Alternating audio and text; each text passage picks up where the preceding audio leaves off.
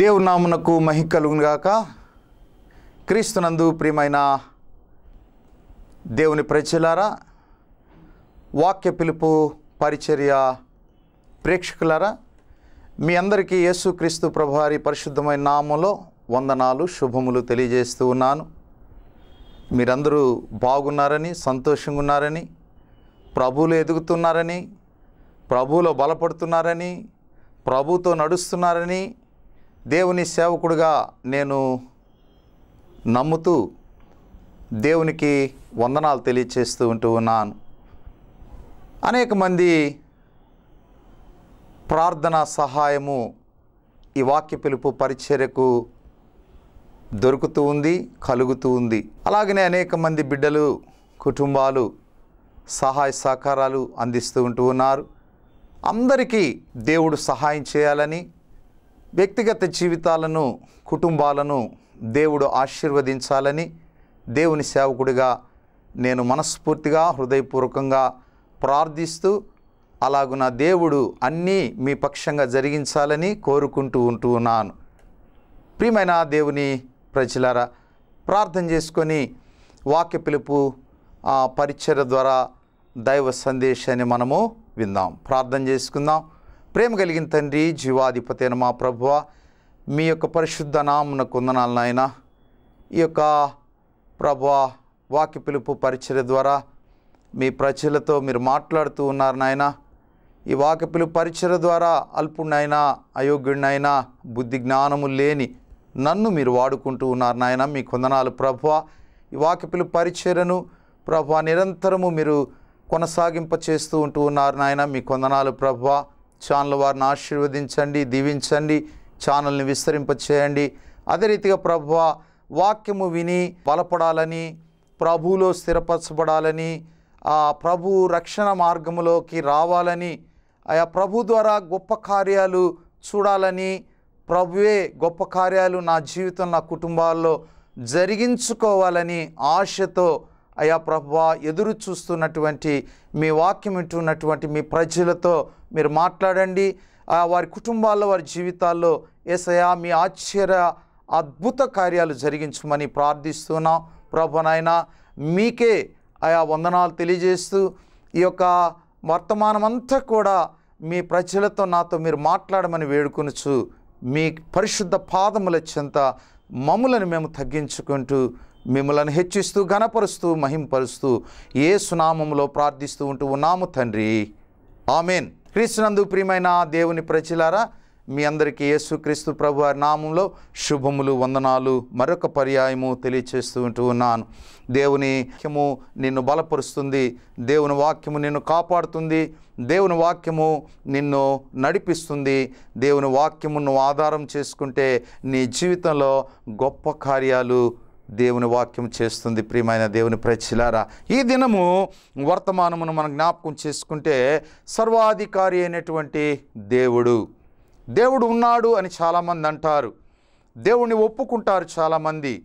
నిజ దేవుడు ఎవరో తెలుసుకోలేరు. నిజ దేవుణ్ణి ఒప్పుకోరు. నిజ దేవుణ్ణి అంగీకరించరు. ఆ నిజ దేవుడు ఎలా ఉంటాడు అని అంటే ఆ నిజదేవుని యొక్క స్వరూపము ఆయన క్రియలు ఆయన కార్యాలు ఎలా ఉంటాయి అని మనము ఆలోచన చేసినట్లయితే సర్వాధికారి అయినటువంటి దేవుడు.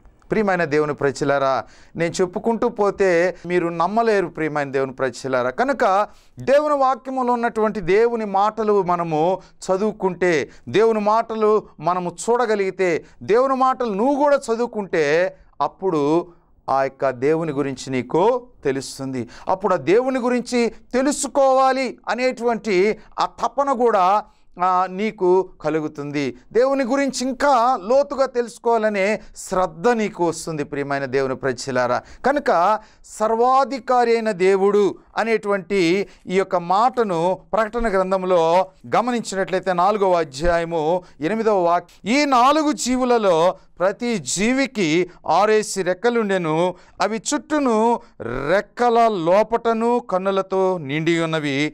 అవి భూత వర్తమాన భవిష్యత్ కాలములలో ఉండు సర్వాధికారియు. దేవుడునగు ప్రభువు పరిశుద్ధుడు పరిశుద్ధుడు పరిశుద్ధుడు అని మానక రాత్రింబగుళ్ళు చెప్పుచుండును. దేవుని నామాని మహిం కలుగునుగాక ఇలాంటి గొప్ప సంగతులు ఈ పరిశుద్ధ గ్రంథములో వ్రాయించబడి ఉన్నాయి. సర్వమానవాళి తెలుసుకోవాలి అని వ్రాయించబడి ఉన్నాయి. సర్వమానవాళి గ్రహించాలి అని వ్రాయబడి ఉన్నాయి. సర్వమానవాళి అంగీకరించాలి అని వ్రాయబడి ఉన్నాయి. సర్వమానవాళి ఒప్పుకోవాలి అని ఈ పరిశుద్ధ గ్రంథములో దేవుడు వ్రాయించాడు ప్రియమైన దేవుని ప్రజలారా. కనుక దేవుని గురించి మనము లేక ఎవరు ఏమనుకుంటున్నారో మరి దేవుని గురించి ఏమి అనుకోవాలో అని ఇక్కడ స్పష్టంగా రాయబడి ఉంది. ఎనిమిదవ వాక్యములో మరి ఆ యొక్క నాలుగు జీవులు ఏమని మాట్లాడుతూ ఉంటూ ఉన్నాయంటే భూత వర్తమాన భవిష్యత్ కాలములలో ఉండు సర్వాధికారియు దేవుడునగు ప్రభువు పరిశుద్ధుడు పరిశుద్ధుడు పరిశుద్ధుడు అని రాత్రింబగళ్ళు ఆ నాలుగు జీవులు ఏమని పలుకుతున్నాయంట సర్వాధికారి అయిన దేవుడు నగు ప్రభువు. పరిశుద్ధుడు పరిశుద్ధుడు పరిశుద్ధుడు. సర్వాధికారి అయిన దేవుడు. చూసారా ప్రియమైన దేవుని ప్రజలారా ఆ సర్వాధికారి అయిన దేవుడు ఎలా అయ్యాడు? ఎలా ఆయనను సర్వాధికారి అయిన దేవుడు అని చెప్తాం. ఎలా ఆయన సర్వాధికారి అయిన దేవుడని నువ్వు చెప్పాలి? ఎలా ఆయన సర్వాధికారి అయిన దేవుడని సంఘము క్రైస్తవ కుటుంబము క్రైస్తవ వ్యక్తి సమాజానికి నేర్పించాలి. చూసారా ప్రియమైన దేవుని ప్రజలారా? ఆయన సర్వాధికారి అయినా మొట్టమొదటిగా గమనించినట్లయితే మరి ఆయన పాపములు క్షమించుటకు సర్వాధికారము కలిగినటువంటి దేవుడు. మత స్వార్థ తొమ్మిదవ అధ్యాయము ఒకటి రెండు వాక్య తరువాత ఆయన ధోని ఎక్కి సముద్రము దాటి తన పట్టణంలో ప్రవేశింపగా ఇదిగో జనులు పక్షవాయువుతో మంచము పట్టి ఉన్నాయొకని ఆయన ఎదుగు తీసుకుని వచ్చిరి. యేసు వారి విశ్వాసం చూచి కుమారుడా ధైర్యముగా సర్వాధికారి అయిన దేవుడు మొట్టమొదటిగా నీ జీవితంతో మాట్లాడే మాట ఏంటి తెలుసా? ధైర్యముగా ఉండము.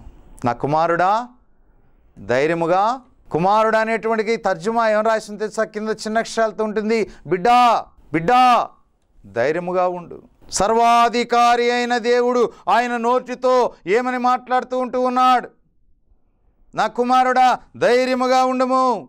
నీ పాపములు క్షమించబడి ఉన్నవి. దేవునికే మహిమ కలుగునుగాక.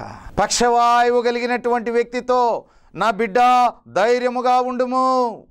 రెండవ మాట నీ పాపములు క్షమించబడి ఉన్నవి. బాగుపడాలంటే శరీర స్వస్థత కావాలంటే ఆరోగ్యము కావాలంటే జబ్బు తొలగించబడము ప్రాముఖ్యం కాదు. జబ్బు తొలగించబడము ప్రాముఖ్యమేం కాదు. పాపములు క్షమించబడాలి ప్రియమైన దేవుని ప్రజలారా. పాపములు క్షమించబడితే వెన్ను వెంటనే స్వస్థత కలుగుతుంది. వెను వెంటనే స్వస్థతనిస్తాడు దేవుడు.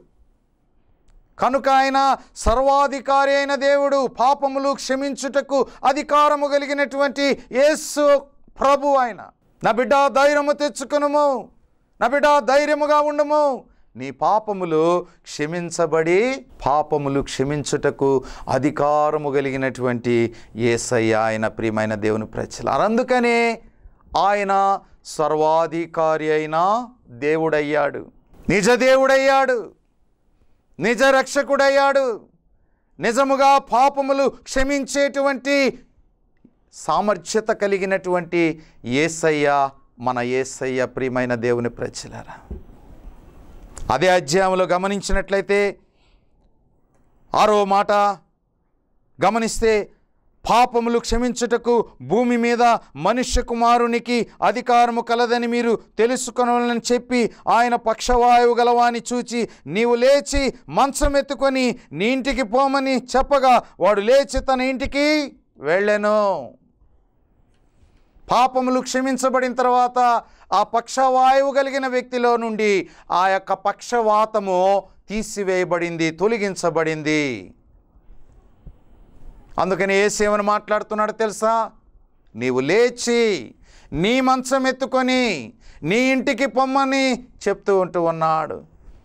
వెంటనే ఆ పక్షవాయువు పోయినటువంటి వ్యక్తి స్వస్థపరచబడినటువంటి వ్యక్తి తన మంచాన్ని ఎత్తుకొని తన ఇంటికి వెళుతూ ఉంటూ ఉన్నాడు.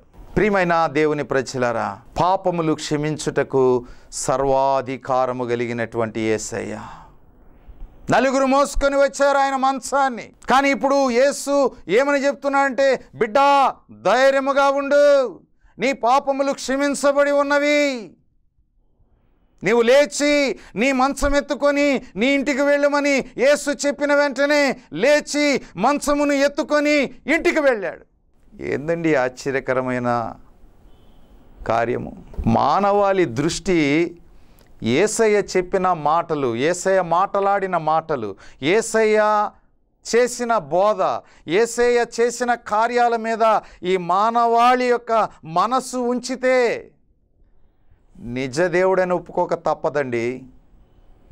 ఎందుకు వ్యతిరేకిస్తున్నారో తెలియదు. వ్యతిరేకించేటువంటి వారికి అర్థం కావటం లేదు.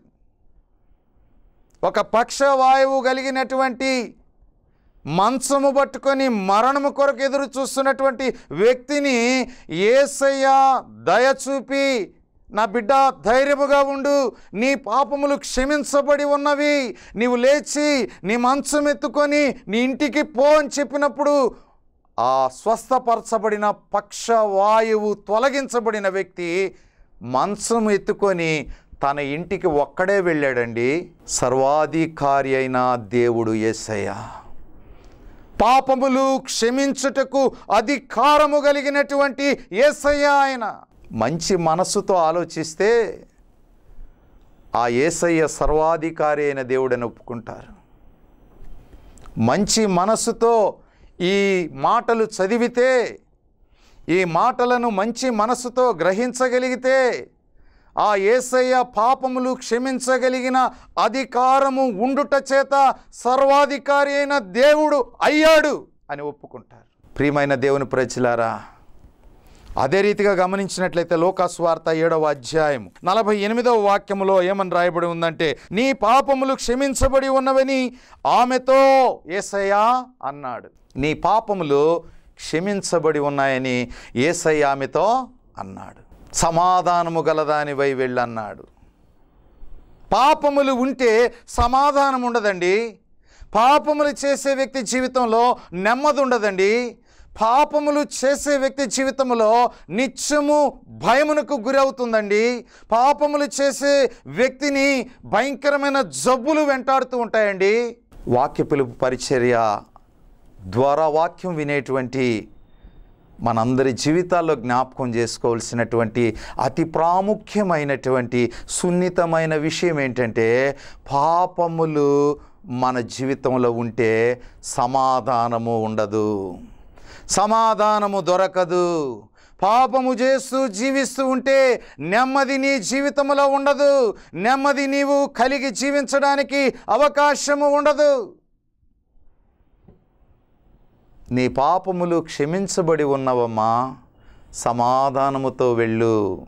ఏసయ్య ఎంత ప్రేమ కలిగినటువంటి మాట అండి నీ పాపములు క్షమించబడి ఉన్నవమ్మా.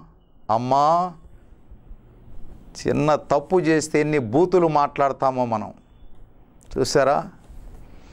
ఎన్ని రకాలుగా కీడు చేయాలని ఆలోచిస్తామో మనం చిన్న పొరపాటు చిన్న తప్పిదానికి. ఇంత భయంకరమైన పాపాత్మురాలు అనబడిన స్త్రీ జీవితంతో ఏసయ్య నీ పాపములు క్షమించబడి ఉన్నవమ్మా సమాధానము కలదానివై వెళ్ళు.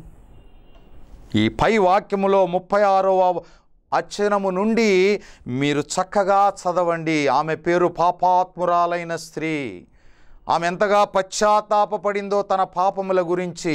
సమాధానం లేదు గనుక పాపం చేసేటప్పుడు నెమ్మది లేదు ఆమె జీవితంలో పాప జీవితంలో ఉన్నప్పుడు. శాంతి లేదు. మరి ఎవరితో కూడా సంతోషంగా ఉండలేదు ఆనందముతో లేదు ఆమె. కనుక ఏసే దగ్గరకు వచ్చి పశ్చాత్తాపపడింది. అయ్యో ప్రభు నా జీవితం ఇది అని ఏసే దగ్గర కన్నీరు కార్చి ఆయన పాదాలు కన్నీటితో తుడిచి ఆమె తల వెంట్రుకలతో ఆయన పాదాలు తుడిచి ఆమె తెచ్చిన అత్తరు పూసి ఏసయ్య పాదాలు ముద్దు పెట్టుకుందండి. ముద్దు పెట్టుకుంది. అలాంటి పాపాత్మురాలైన స్త్రీతోటి ఏసయ్య ఎంత ప్రేమతో మాట్లాడుతున్నాడంటే అమ్మా నీ పాపములు అమ్మా నీ పాపములు క్షమించబడి ఉన్నవి సమాధానము గలదానివై వెళ్ళుము. సర్వాధికారి అయిన దేవుడు ఏసయ్య ఆయన పాపములు క్షమించడానికి అధికారము కలిగినటువంటి దేవుడు ఆయన అందుకనే ఆయన సర్వాధికారి అయిన దేవుడుగా ఉంటూ ఉన్నాడు ప్రియమైనటువంటి దేవుని ప్రజలారా. మరి ఈ సమయములో గమనించినట్లయితే లూకాసు వార్త ఎనిమిదవ అధ్యాయం ఇరవై మూడవ ఆట గమనించినట్లయితే వారు వెళ్ళుచుండగా యేసు నిద్రించెను అంతలో గాలివాన సరస్సు మీదకి వచ్చి దోనె నీళ్ళతో నిండినందున వారు అపాయకరమైన స్థితిలో ఉండిరి. గనుక ఆయన ఎదుకు వచ్చి ప్రభువా ప్రభువా నశించిపోతున్నామని చెప్పి ఆయనను లేపిరి. యేసు లేచి గాలిని నీటి పొంగును గద్దింపగానే అవి అణిగి నిమ్మళమాయను. దేవునామానికి మహిమ కలుగునుగాక. ఈ యొక్క సర్వ ప్రకృతి మీద ఆయనకు ఏసయ్యకు సర్వాధికారము కలిగి ఉంటూ ఉన్నాడు. సర్వ ప్రకృతి! ఏసయ్య సర్వాధికారము దాని మీద కలిగి ఉన్నాడు. సర్వాధికారి అయిన దేవుడు అంశము జ్ఞాపకం పెట్టుకొని ప్రకృతి మీద సర్వాధికారము కలిగి ఉన్నాడు ఏసయ్య. ఈ సర్వ ప్రకృతిని ఏసయ్య ఎవరి కోసం చేశాడండి? చెప్పండి మన కోసం చేశాడు. నీ కోసం చేశాడు నా కోసం చేశాడు మన కోసం చేశాడు ఈ మానవాళి కోసం చేశాడు సర్వ ప్రకృతి. మన కోసం ఈ ప్రకృతి చేసినటువంటి ఏసైనేమో విడిచిపెట్టేస్తున్నారు ఆ ప్రకృతిని ఆరాధిస్తూ ఉన్నారు ఆ ప్రకృతిని పూజిస్తూ ఉంటూ ఉన్నారు. రోమాపత్రికలో వ్రాయబడి ఉంటూ ఉంది ప్రియమైన దేవుని ప్రజలారా. మొదటి అధ్యాయంలో రాయబడి ఉంది. పౌలు సంఘానికి చెప్తూ రాస్తూ ఉన్నాడు పరిశుద్ధాత్మ ప్రేరణతోటి. నిజ దేవుణ్ణి విస్మరించేస్తున్నారు. నిజ దేవుణ్ణి మర్చిపోతూ ఉన్నారు. నీ కొరకు నా కొరకు మన కొరకు ప్రకృతిని చేసినటువంటి ఆ సర్వాధికారి అయిన ఏసైని మర్చిపోతున్నారు. ఆ ప్రకృతిని పూజిస్తూ ఉన్నారు. ఆ ప్రకృతిని దైవముగా చూస్తూ ఉన్నారు. నీ కొరకు చేసిన ప్రకృతి దగ్గరికి వెళ్ళి అదే దేవుడు అంటున్నారు. ఎంత సిగ్గుమాలిన పనిది? రామపత్రిక మొదటి అధ్యాయాలను చదువుకోండి. కనుక ప్రియమైన దేవుని ప్రజలారా ఈ సర్వ ప్రకృతి మీద సర్వాధికారము కలిగినటువంటి యేసయ్య ఆయన నిద్రపోతున్నప్పుడు ఆ యొక్క గాలి తుపాను చెలరేగినప్పుడు ఆయనతో ఉన్న శిష్యులు ఆయన దగ్గరకు వచ్చి ఆయన లేపారు. ఇక రాయబడిన మాటలు సత్యం. ఇక్కడ రాయబడిన మాటలు నమ్మండి. ఆయనను లేపిరి ఆయన లేచి గాలిని నీటి పొంగును గద్దింపగానే అవి అణిగి నిమ్మళమాయను. బా నాకైతే ఎంత సంతోషంగా ఉందో ఆయన నిద్ర లేచి గాలిని నీటి పొంగును గద్దింపగానే అవి అణిగి అవి నిమ్మళమాయను. వాటి స్థితి ముందు ఎలా ఉందంటే భయంకరంగా ఉంది. ఏసయ గద్దింపగానే వాటి స్థితి ఎలా మారిపోయిందంటే అణిగిపోయాయి. ఏసయ గద్దింపగానే ఆ నీటి పొంగులు భయంకరమైనటువంటి అలలు నిమ్మళమైపోయాయి ప్రియమైన దేవుని ప్రజలారా. సర్వ ప్రకృతి మీద ఏసయ్య సర్వాధికారి అయి ఉన్నాడు. కనుక ఆయన సర్వాధికారి అయిన దేవుడు.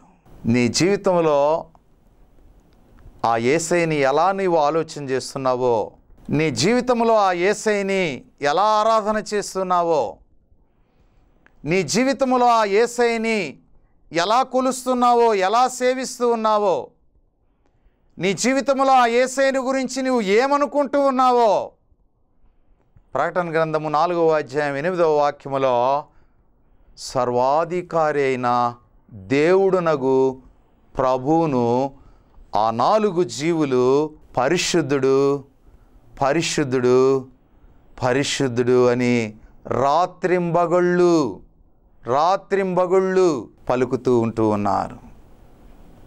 ఆయన పరిశుద్ధుడు. మొదటి పేతృపత్రిక రెండవ అధ్యాయము ఇరవై రెండవ వాక్యము. ఆయన పాపము చేయలేదు. ఆయన నోటను ఏ కపటమును కనపడలేదు. ఆయన సర్వాధికారి అయిన దేవుడు. ఆయన పరిశుద్ధుడు పరిశుద్ధుడు పరిశుద్ధుడు. ఈరోజు నీ ఆలోచన ఎలా ఉందో ఈరోజు ఆ ఏసైని నువ్వు ఎలా మరి అనుకుంటున్నావో నీ జీవితంలో?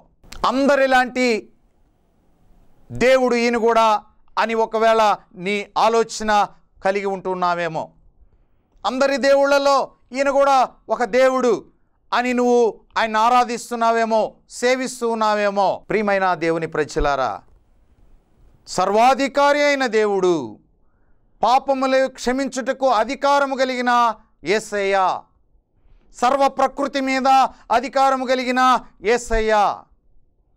ఆయన పరిశుద్ధుడు పరిశుద్ధుడు పరిశుద్ధుడు. ఎలా ఆయన పరిశుద్ధుడు? ఇరవై రెండవ వాక్యం మొదటి పేతృపత్రిక రెండవ అధ్యాయం ఇరవై రెండవ వాక్యము. ఆయన పాపము చేయలేదు. ఆయన పాపము చేయలేదు. ఆయన నోట ఏ కపటమును లేదు కనపడలేదు. ఆయన పాపము చేయలేదు. ఆయన నోట ఏ కపటమును కూడా కనపడలేదు. అందుకనే రాత్రింబగుళ్ళు నాలుగు జీవులు లేకపోతే పరిశుద్ధుడు పరిశుద్ధుడు పరిశుద్ధుడని పరమదూతల చేత రాత్రింబగళ్ళు దేవుడు పొగడబడుతూ ఉంటూ ఉన్నాడు. దేవుడు పొగడబడుతూ ఉంటూ ఉన్నాడు ప్రియమైన దేవుని ప్రజలారా. సర్వాధికారి అయిన దేవుడు ఆయన పరిశుద్ధుడు పరిశుద్ధుడు పరిశుద్ధుడు ఆయన పాపములు క్షమించుటకు అధికారము కలిగినటువంటి ఏసయ్య. ఆయన సర్వ ప్రకృతి మీద అధికారము కలిగినటువంటి ఏసయ్య. సముద్రపు పొంగును ఆయన గద్దింపగని ఆ పొంగు అణిగిపోయి నిమ్మళమైపోయింది ప్రియమైన దేవుని ప్రజలారా. ఉన్న శిష్యులు భయపడిపోయారు. కనుక నీ జీవితంలో ఆ సర్వాధికారి అయినటువంటి ఏసైను జ్ఞాపకం చేసుకో.